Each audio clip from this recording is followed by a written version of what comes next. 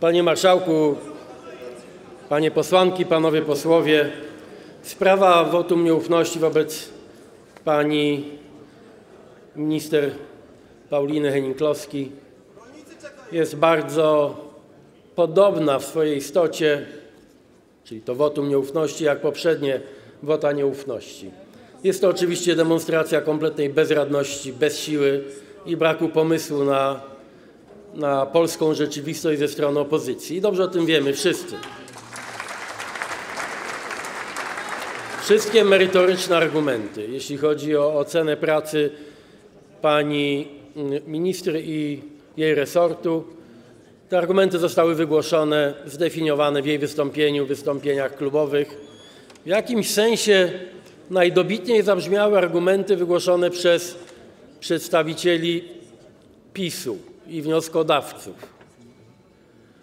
Z niezwykłym zadziwieniem wysłuchałem na przykład pretensje pod adresem pani minister i z tego tytułu chcę się odwołać. Obie formy są prawidłowe i pani minister, i pani ministra. Posługuję się obiema swobodnie i bez uprzedzeń. Ja, na przykład argument, że pani minister i koalicja rządząca odpowiada za Zielony Ład. Zresztą nieprzypadkowo także dzisiaj kwestia Zielonego Ładu budzi emocje na tej sali, niedaleko stąd, jutro prawdopodobnie na manifestacji.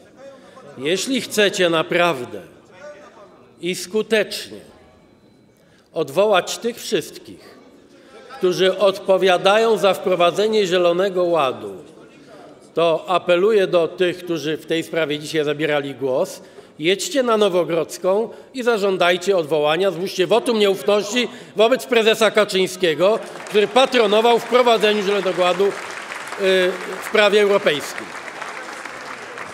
Macie jeszcze możliwość pojechać dalej w tej kwestii, pojechać do Brukseli, do pisowskiego komisarza, komisarza od spraw rolnictwa, który nie tylko że wprowadzał Zielony Ład, ale jeszcze nakręcił piękne spoty telewizyjne w tej kwestii.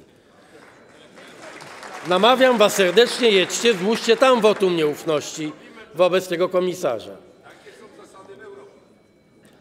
Nie chcę się znęcać nad nędzą argumentów merytorycznych wnioskodawców. Szkoda naszego i Waszego czasu. Chcę powiedzieć, że wypowiedź pani minister jest wystarczającym, wystarczającymi argumentami, aby odrzucić to wotum nieufności. Nikt nie musi mnie namawiać do rozmów z rolnikami. Spędziłem na spotkaniach z przedstawicielami polskich rolników dziesiątki godzin. Wszystko to, co zepsuliście, bezrefleksyjnie podpisując Zielony Ład, pan Morawiecki, pan Kaczyński, pan Wojciechowski, cały PiS, cała ta absolutnie pełna ignorancji, kompletnego braku wiedzy o polskim rolnictwie banda nieuków. To oni doprowadzili do tego, z czym się dzisiaj mierzymy. I ja na spo... O, i tam jeszcze wstał pan od gaśnicy, pan Telus, jeśli dobrze rozpoznaję. Kolejny gigant polskiego rolnictwa. Kolejny gigant. Trzeba było spotykać się z rolnikami wtedy, kiedy wprowadzaliście Zielony Ład. Trzeba było się spotykać z rolnikami wtedy, kiedy wpuściliście dziesiątki milionów ton zboża z Ukrainy do Polski.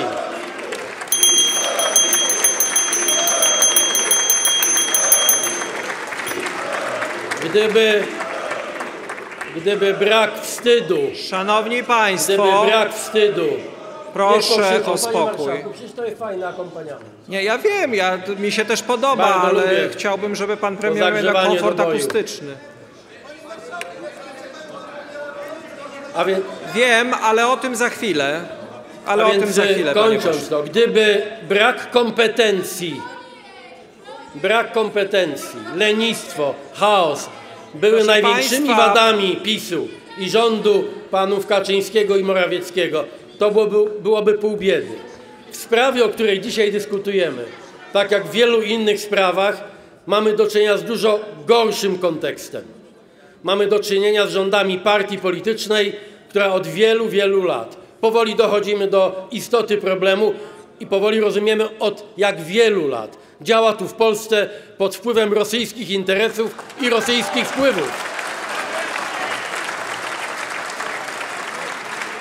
Kwestii energetycznej, w kwestii energetycznej chcę tylko przypomnieć, gdyby tu siedział prezes Kaczyński, gdyby przejmował się polską energetyką, to bym mu przypomniał wtedy, kiedy PiS współorganizował, kiedy PiS współorganizował tak zwaną aferę taśmową.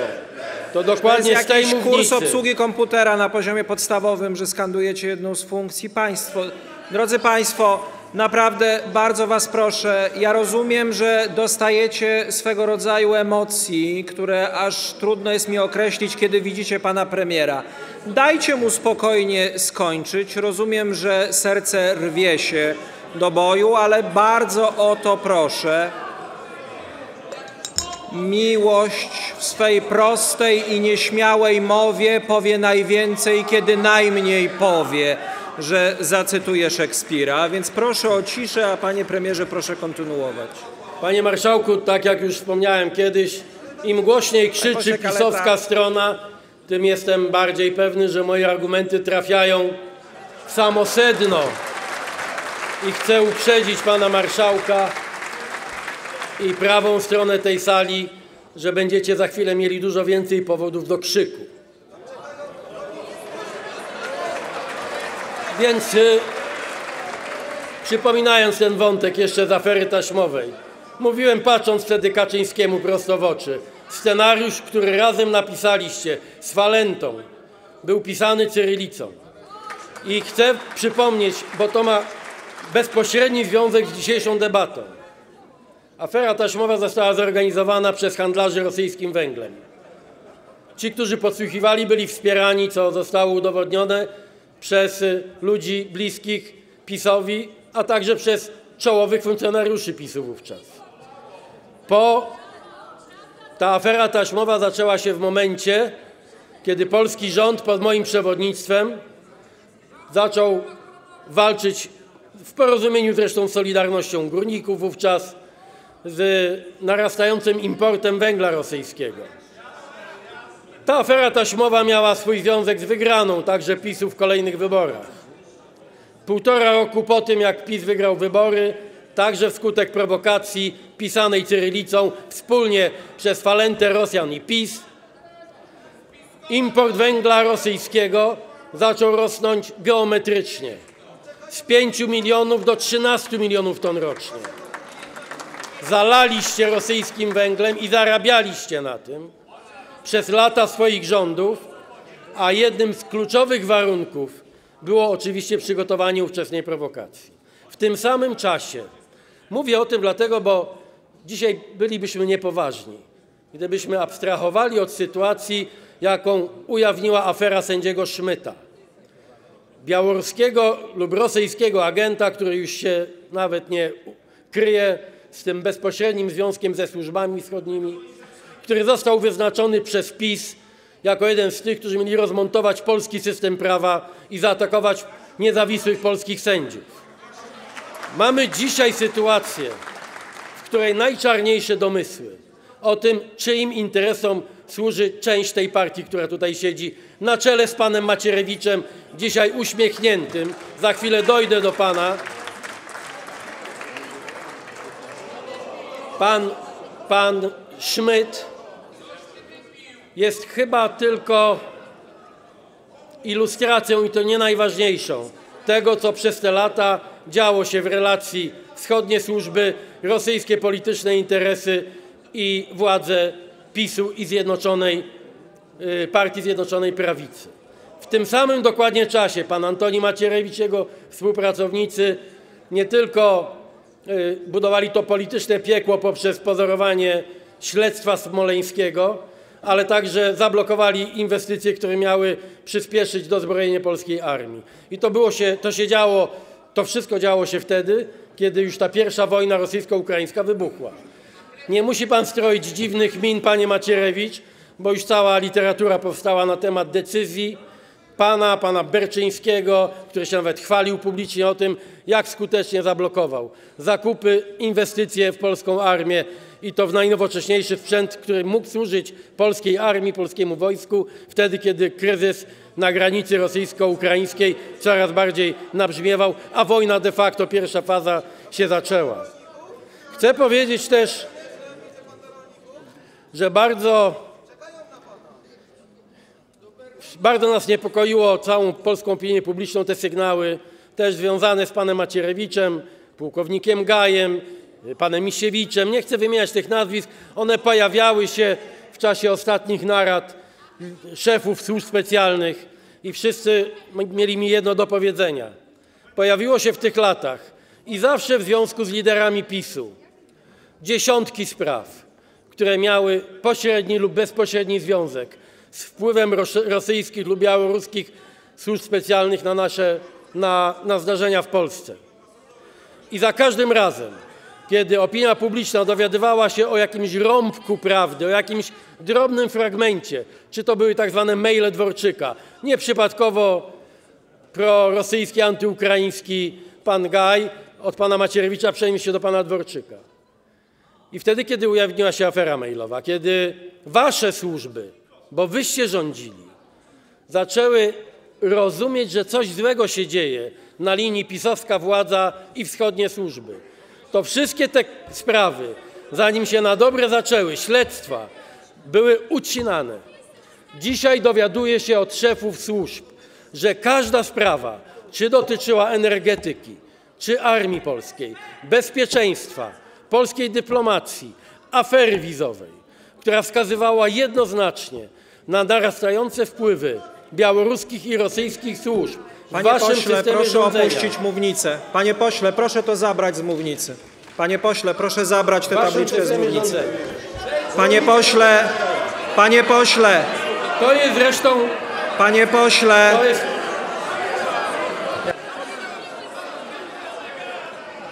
To jest dokładnie, to jest dokładnie ta sama metoda. panie pośle, Zawsze przepraszam wtedy- panie premierze na moment. Panie pośle, mówię do pana posła Rychlika. Na podstawie artykułu 175 ustęp 2 litera A regulaminu Sejmu stwierdzam, że swoim zachowaniem na sali posiedzeń naruszył pan powagę Sejmu. Wniosek w tej sprawie skieruję do prezydium Sejmu.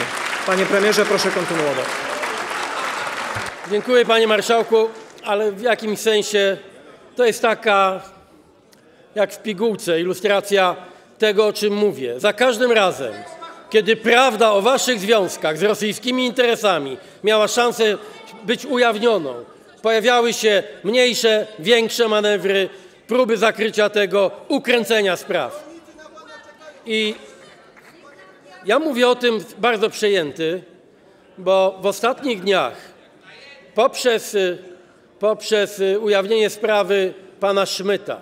Jak Państwo wiecie, pan Szmyt, bo to już pojawiło się w przestrzeni publicznej, odwiedzał Białoruś i Ukrainę i nikt mu nie przeszkadzał, bo służby w tej sprawie zachowywały się jak sparaliżowane pod rządami PiSu. Były ślepe i głuche. Nie, nie tylko, że nie zauważały tego narastającego wpływu Rosjan na to, co dzieje się w Polsce. Ale coraz częściej zdarzało się tak, że kiedy ktoś wpadł na jakiś trop, to natychmiast zapadała polityczna decyzja o tym, żeby sprawy nie kontynuować. To nie jest temat, słuchajcie, to nie jest przedmiot ani do żartów, ani do jakichś krzyków, skandowania na tej sali. Nie możecie tego przesłonić. Wojna jest u naszych granic. Sprawy są naprawdę śmiertelnie poważne. Ja mógłbym, gdybym chciał się bawić z możliwości. Wiecie, tak jakbyście się przez chwilę zastanowili. Wyobraźcie sobie, gdyby jakiś minister obrony waszych oponentów z Koalicji Demokratycznej wyczyniał takie rzeczy jak pan Macierewicz i jego ludzie, to wy byście po prostu od rana do wieczora podnosili krzyk o zdradzie. Nie o niekompetencji, tylko o zdradzie. Wyobraźcie sobie, czy wy kiedykolwiek zadaliście pytanie, ale tak połóżcie rękę na sercu. O czym Jarosław Kaczyński przez długie miesiące rozmawiał z agentem KGB, panem Wasinem, do czego sam się przyznał ponad 30 lat temu. Czy wy kiedykolwiek zadaliście pytanie? I czy ktokolwiek z was zastanowił się choćby przez moment, co wy byście zrobili z informacją, że ja spotykałem się przez półtora roku z agentem KGB. Wyobraźcie sobie, wyobraźcie sobie, czy byście naprawdę, czy, czy byście byli sobie w stanie w ogóle wyobrazić waszą reakcję. Z panem Putinem spotykałem się równie często jak Lech Kaczyński. Jak Lech Kaczyński. Proszę milczeć. Proszę milczeć.